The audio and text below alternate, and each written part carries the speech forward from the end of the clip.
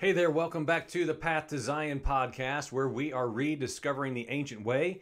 We are about to enter into part 11, part 11 of inhabitants who are meant to sojourn, a call to come out. Now, I will admit, when we first started this series,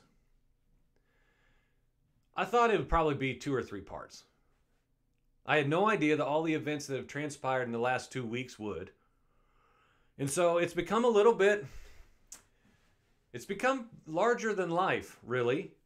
Um, if you go all the way back to the introduction, part one and two, when we when we laid the groundwork of why I even brought this up, how the Father led me to Genesis chapter 26, with Isaac redigging the wells of his father Abraham, and how we we see a biblical pattern in, in an individual of what started and originated in his father Abraham to what? To go out, leave your land, leave your country, go to a country which I will show you.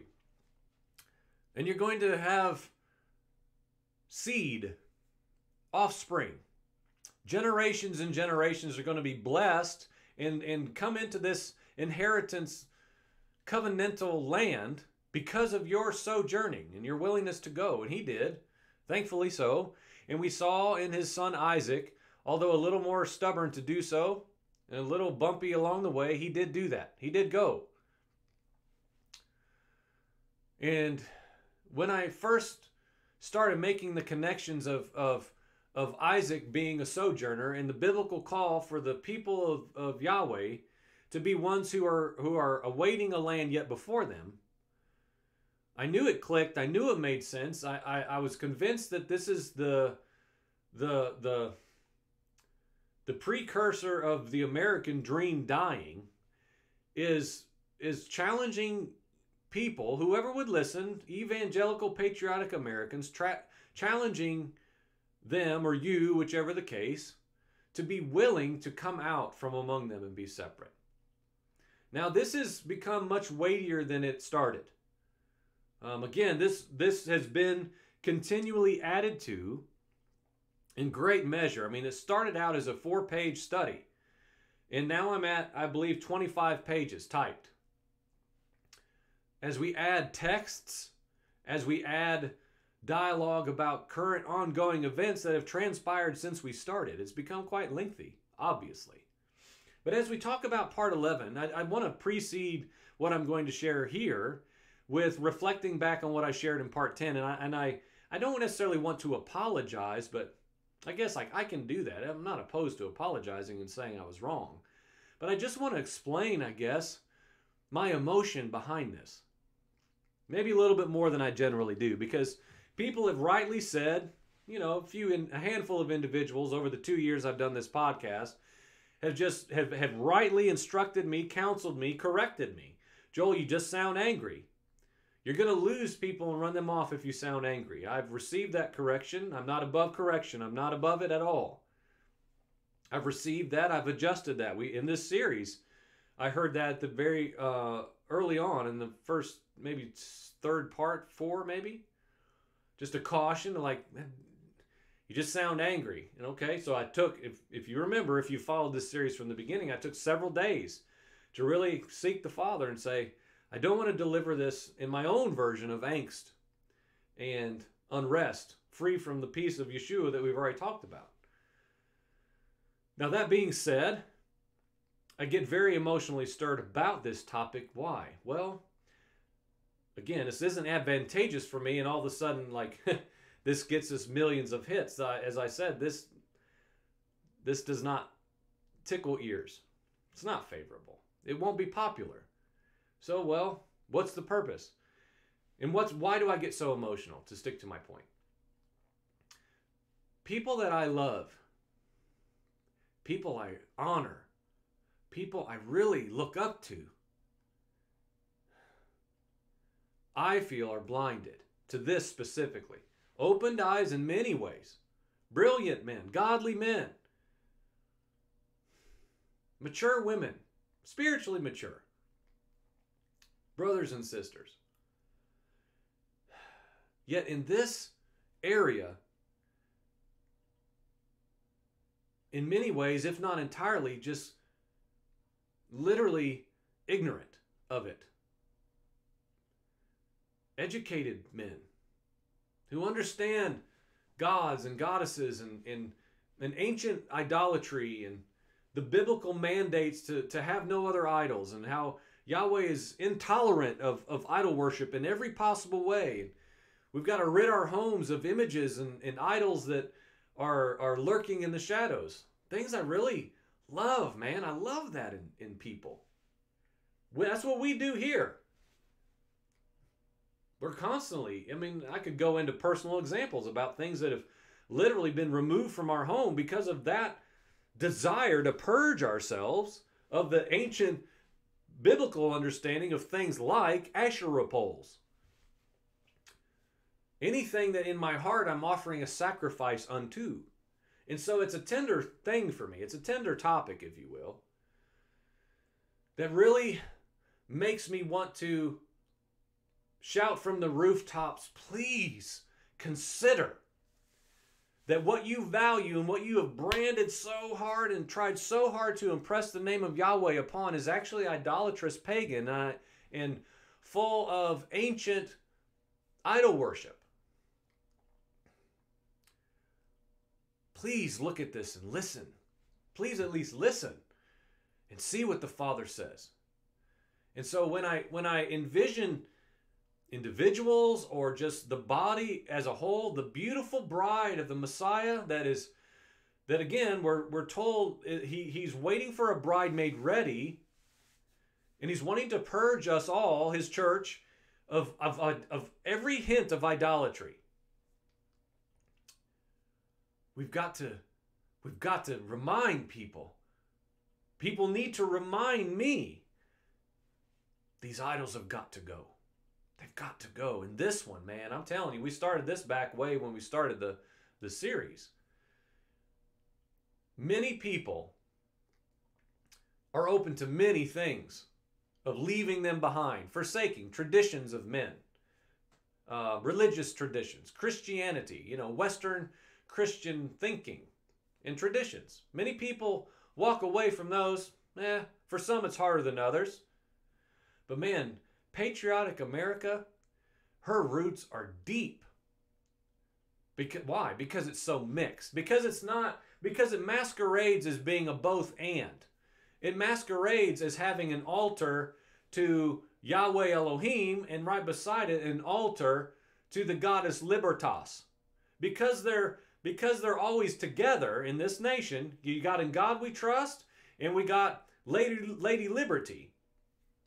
And because they're so, they're not, but because they're perceived and, and, and delivered to us through traditions, American traditions, that they can be synonymous, they've, they've merged, and there's been very little question from the church at large of challenging the idolatrous origins of patriotism, national loyalty.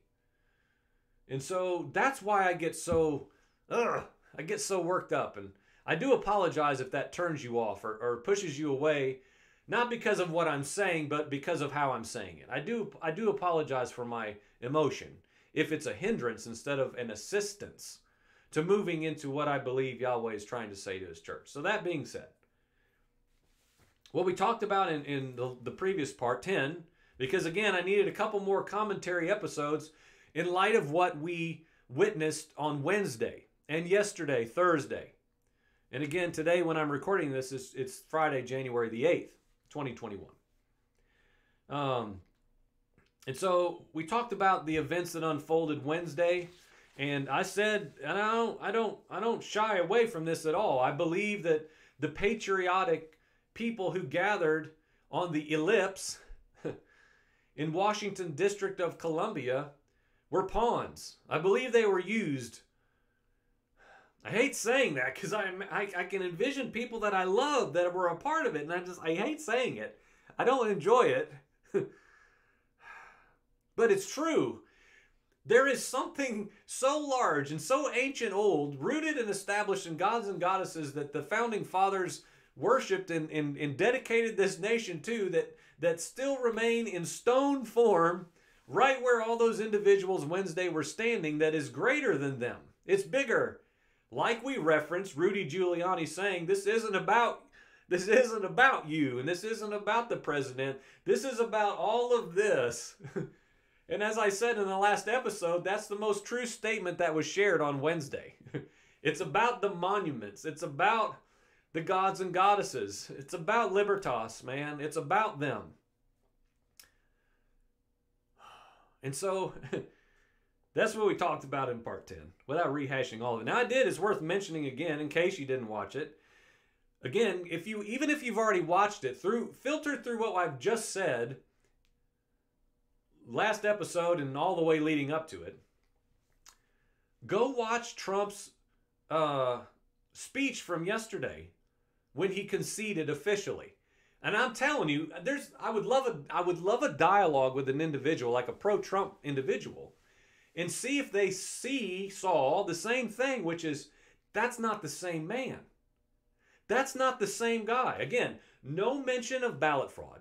No mention of fighting the liars and, and the Democrat rat people that they are, and nothing about fake news media, nothing about false flags, and nothing about lies and deception. What was he, friends? Yesterday, he was a politician. And I'm saying he's been one all along. He's been one all along. He has played well. He has earned whatever he's been given. He has earned it. Why? He not just him, but him in his role in this in this film called America. He carried out to perfection, man. It's almost like, wow, he's good. He carried out the role to perfection, man. To dupe patriotic evangelicals into acting in ways that are not like the Messiah in hordes of numbers and to buy into more than any generation previous. Just like we talked about with those, what were they? The, the sons of sons of freedom? I forget. Sons of liberty, maybe. And the liberty poles and the liberty tree and the Boston Tea Party and rebellion, rebellion, rebellion. Man, a brother said this to me the other day. Shouldn't we be concerned at the outset that the entire source of this nation is rebellion? Huh. Well, depends who you ask. Some people love that. They love the warrior, rebellious man, you know, the, the warrior man. They love the Patriots. We already talked about that. We, we took that and hung it up on the wall and said, oh boy, don't want to be that. and so that is what's fueled all these things today that, that the, the, again, the ones who organize these things, man, they, I would like to say, well, they're just, man, these guys are good. But again, it's principalities and powers. It's not mere men. It's principalities and powers moving about through men and the governments of men and the kingdoms therein. That's what we talked about all the time. That's the issue at hand. Are the principalities and powers who are ruling and governing this nation. That's the heart of all of this, deep down inside. And how does it play out? Through idolatry, through men promoting their own freedoms, their own rights, hating one another and anyone who would take it from them must die. That's really and what is that? That's that's the garden lie about you need to take matters into your own hands, deify yourself. If you don't look out for yourself and for your your weak neighbor, nobody will. Stand up for liberty. Again, that's what the goddess Libertas was known for throughout entire ancient culture for defending the defenseless. It's interesting. So, moving on, and I do want to mention this real quick. Is anyone going to challenge the, the, the modern day prophets? I just want to ask that question. Is anybody going to challenge them? Is anyone going to call them out? I mean leaders, pastors. Are they going to are they going to stand up and separate themselves from these men? Are they going to make it clear? I was wrong. I was wrong. All those dreams, all those visions, all of the book sales, all of the prophetic updates, all of the, oh, oh, oh, wait a minute, wait a minute, wait a minute. Yes, the word of the Lord just told me again Trump will have a second term. And people shout and they cry. Friend, I'm serious now. As a body member, as a member of the body of Messiah, do we not have a right to say, friends, you have affected the body? You've affected the body of Messiah like a disease. You have infected her with an advantageous tickling of the ear word that was prophesied in the scriptures that says you are a false prophet. An antichrist spirit. Is anyone going to say that? Because he did not win. He did not win, friends. Well, the prophet, if people had prayed harder, if Trump was obedient to, nobody said that then. No one, I need to stop. I'm just saying. I don't know if, if we can even do that. There's, they're too big, they're too beyond anyone saying anything. The people who have a voice and an opportunity to say, hey, brother, they're already on programs again. I saw this morning YouTube feed, YouTube feed, YouTube feed. Now, the new word, the new word of the Lord for 2021. New word of the Lord, 2021. Revised, literally. This is what God's saying now because Trump was not obedient. This is what God's saying now because Pence was a rat. This is what God's saying now because of what Antifa did. Seriously. And people, amen, bless God. I don't understand that. I don't understand. Other than the, what the Word of God tells us, And, but even when we see prophecy unfolding, it's hard. Even when we see prophecy unfold in front of our eyes, it's hard to be like, no, no. These people are literally still saying that Trump could win this election today. Today. People are saying that online. Oh my gosh, it never ends. It never ends. Liberty is a spiritual juggernaut. She's huge. She's huge. I mean, I saw a prophet this morning releasing a new prophetic word with his books behind him, right? These books, and I'm making up titles, but like uh, Trump and King Cyrus in in 2021 or Trump's second term. These are the books are still behind them. Excuse me. I'm like, you might want to take those down, brother. you might want to take those books off the shelf. It's a little embarrassing, don't you think? Doesn't matter. Doesn't matter. Like literally, it doesn't matter. Ugh. So Wednesday, the patriotic church gathered at the national hub of idolatry, stood on Masonic cornerstones, and cried out to liberty while invoking the name of God, of course. What has happened? What did it produce? Did it turn? Did it stop the steal? Yahweh's had enough. Yahweh has had enough of patriotic America. I'm convinced. I'm convinced. Genesis 26 8. Genesis 26, that sounds familiar. Yep. It's where we've been every time we turn this on for two weeks now. All right, so let's read just 26 8, okay? And I said this days ago, and now I feel like it's come to pass. And it came about in Genesis chapter, chapter 26, 28. Okay, we know that, that Yahweh instructed Isaac to sojourn through this land. Go on. Go on, Isaac. I'm going to bring you to a promise that I will reveal to you. Move, travel. We don't have time to rehearse, re, rehash all the stuff we've talked about sojourner versus dweller. And it came about when he, Isaac, had been there in Gerar a long time that Abimelech, king of the Philistines, looked out through a window and saw, and behold, Isaac was caressing his, his wife, Rebecca. He calls out, Wait, this, she's your wife, this and that. What is it? What is this you've done?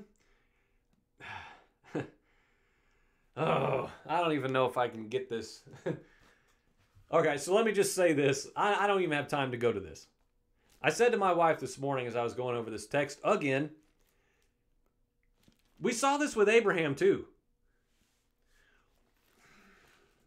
Oh gosh, this one. This is the size of the universe. what did Abimelech do wrong? when he received judgment from God? through Isaac and Abraham's wives. What did he do? He says, wait, wait a minute. What did he say? well, I, read it this morning in the story of Abraham as well. I don't have time to go through all this stuff. Anyway, judgment came to Abimelech. Why? Because Abraham and Isaac deceived him and lied to him. He was receiving judgment. Abimelech received judgment because he was lied to. He thought, I thought these were your sisters, man. Basically, so Abraham, back in his version, which is so odd again that this happens in in in Abraham's life and Isaac's life with their wives.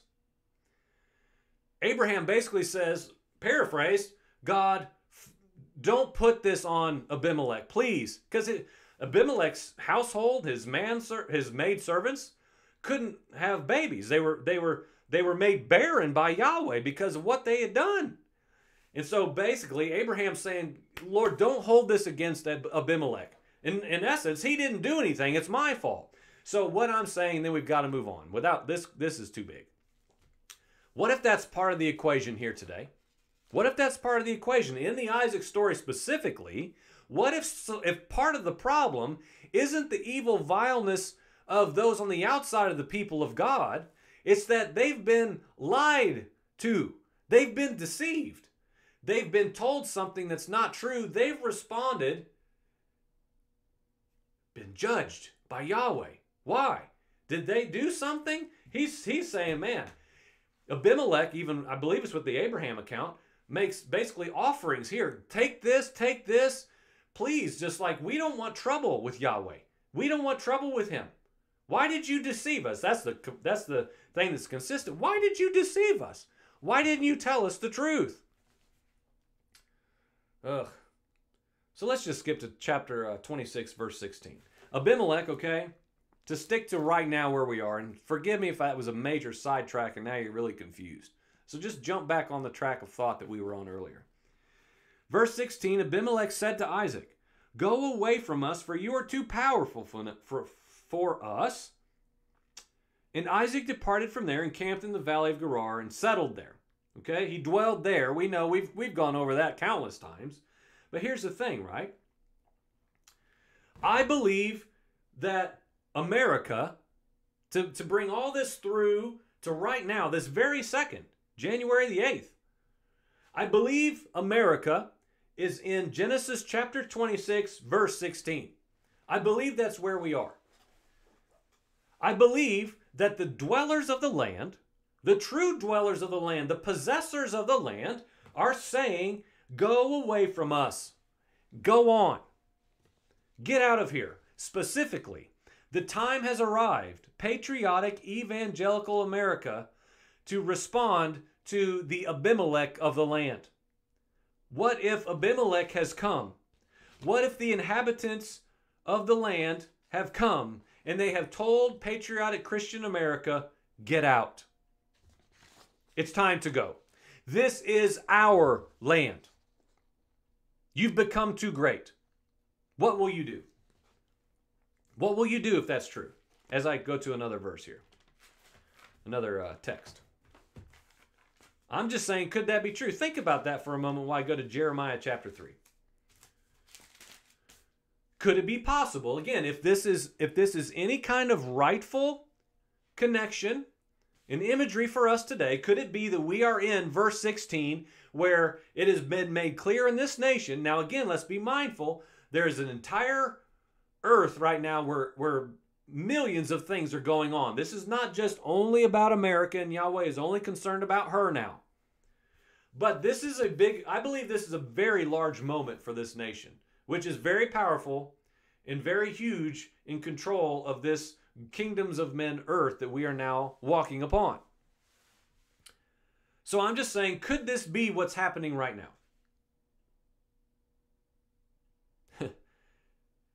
and again, I, I, said I saw today on, on on prophetic, on a prophet's video that he did that this this this individual well several literally quote we must continue to stand for liberty another one yes God has the final word. Well, what does that even mean? What does that even mean? What are we waiting for? We're waiting for, I'm not, but many are, evangel- evangelical patriots are waiting still for God to just make everything okay. Please, God, just don't let us lose our liberties. Please, no way would you allow that. I'm telling you, friend, He is.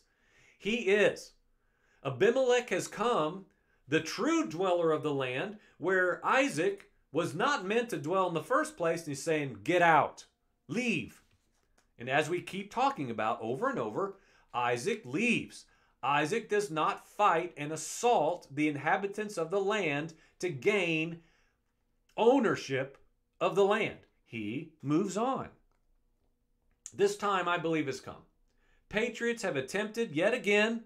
Oh my gosh, Wednesday was a huge attempt, they think, although again, it's a patriotic pawn game plan in place and they played their part perfectly. They did exactly what was expected of them, of the elite, by the elite. The elite create this, this plan, put it in place, and man, the Patriots did their part like to perfection.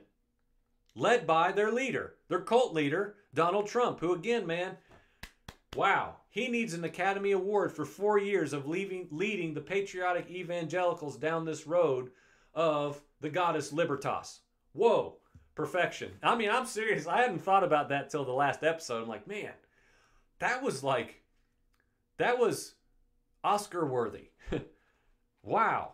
When they chose him to be the, the anti political politician, home run, home run, home run, grand slam, game winning, bottom of the ninth, two outs, three strikes, boom, out of the park, game over. Holy cow, that was good. Yikes. Oh, this time it has not worked. Okay, what happened Wednesday? The Patriots attempt to cram God yet again into this idolatrous nation. It did not work, and we have to ask why. Why did the church not get their way? Let, us look real quick. I had a brother who watches this program say, Do you think we're seeing Jeremiah 3 and 4 play out right now? Do you think we're seeing Jeremiah chapter 3 and chapter 4 play out in front of our very eyes? And, and so I read it. Hmm. Yeah, probably so. Yahweh says, If a husband divorces his wife and goes from him and belongs to another man, will she Will he, rather, still return to her? Will not that land be completely polluted? You're a harlot with many lovers, yet you turn to me, declares the Lord. Lift up your eyes to the bare heights and see where have you not been violated. By the roads you've sat for them like an Arab in the desert. You have polluted a land with your harlotry, with your wickedness. Therefore, showers are going to be withheld, no spring rain. You had harlots' foreheads you refused to be ashamed. Again, just like Wednesday, we didn't do anything. We didn't do anything. It's Antifa, man. We're innocent, peaceful patriots. No, guilt is on our hands. Why? Idolatry. Idolatry. Have you not just now called to me? My father, you are the friend of my youth. Will he be angry forever? Will he be indignant to the end? You have done evil things. You have had your way. Man, how I mean, how much of this can we read? It's the theme throughout. It came about because of the lightness of her harlotry, that she polluted the entire land and committed adultery with stones and with trees. Idolatry everywhere, mixing at every turn, harlotry, prostituting herself with other idols, including liberty, justice, and freedom for all. It is a spirit. It is a spirit of, of mixing in this nation. And I'm telling you, Yahweh God has used the Abimelechs, the herdsmen of the land, the inhabitants, to say, Church, it's time for you to go. It's time for you to go, Christian American church. It is time for you to leave here in your heart. As I keep saying, in your heart, not geographical, in your heart, it is time to come out and to be a sojourner and remember that you are instructed to look for something that is yet before you. So here we are finally at the culmination. We're finally at the end of the line. We're finally at the end. Praise the Father. He's so good to us, y'all. He's so patient. None of us deserve his goodness, his kindness, his patience. None of us. There's none righteous. None, not one. Not one. None righteous. No one's deserving here. But we have to respond to the judgment that's coming to this nation rightly, or the elect are going to be led astray, and the Christian American Patriotic Church is going to be left on an island worshiping a man, crying out for Lady Liberty to please, please stay alive, please don't leave us. And Yahweh Elohim is going to be taking his people out, and they will not make it. Don't let that be you. I don't want it to be me. But this could be good for the church. This could be good for the church. Again, Isaac did not fight the running off, he moved. Then he understood as he went, he could then begin to move into the covenantal inheritance. But only when he left, only when he left, the, the contention, the strife, the quarreling, the fighting, the hatred, only when he said, you know what, I'm not doing this. I'm not a dweller. Forgive me, Yahweh, for dwelling. We need to do the same thing. So the what we do now. Okay, so this is what I feel like the Father led me to. And I wonder if I should just make this another part. Let's just do that. Let's just stop here and go ahead and get your Bibles out if you need a refresher. Everybody knows this. If you've been in the church a, a day or a hundred years, you know Hebrews chapter 11. And, and, and as probably about a week ago, when I thought I was going to have the, the culmination of the series then, I was just asking the Father, I need a conclusion, God, because you can't you can't leave me hanging. I can't leave these people hanging with like gloom and doom and correction and correction and judgment and judgment. God, this is for a purpose, and that's the beginning of where we started. The the the uprooting and, and willingness to become a sojourner instead of an inhabitant frees us, like it freed Isaac, to become a fulfillment, a walking fulfillment of God's covenantal reality. And so we're going to bring this part to a close here, and we're going to have one more part, we'll be done. And we're going to be in Hebrews chapter 11 because I believe, again, the Father spoke very clear to me, and I'm going to explain why. I'm going to explain why He spoke to me, what He did, and, and what is the significance about what Hebrews chapter 11 contains for us right now as Abimelech the, and the inhabitants of the land are saying, hey, hey, guess what? Get out of here. Get out of here. Friend, I'm going to tell you right now in closing don't fight it. Patriotic Americans, stop fighting everything. Stop it with this warrior mentality where you're just going to run around with weaponry and, and assault everyone in the name of God. Just stop it. You're looking foolish. It's not working. It's not working. It's not going to work. We need to yield to the judgment that the Father is bringing us into right now in this land in America as 2021 is just getting started. We do not know what this year is going to hold. Nobody does. I won't say the P word. They don't know. They don't know. We will only know what the Father reveals in whatever increment He deems right for us to know. So we better be listening to what the Spirit is saying in this hour to prepare our hearts first and foremost and anything else that he would give us insight into. Because I'm telling you, the elect, I think this year, man, this calendar year, I think we're going to see the elect really get led astray. And I'm just I'm just going to say, friend, don't let it be you. It could be you. You do know that, right? You do know that that it could be you that's led astray from following the Messiah and waiting for the bridegroom. I could be led astray right now, tomorrow. I could be led astray. I could I could believe a lie and a deception and, and inherit more and more idolatry into my life and get further and further away from the covenantal promises of Yahweh Elohim, and I too would be led astray. All of us are, are vulnerable to be led astray. All of us. None are exempt.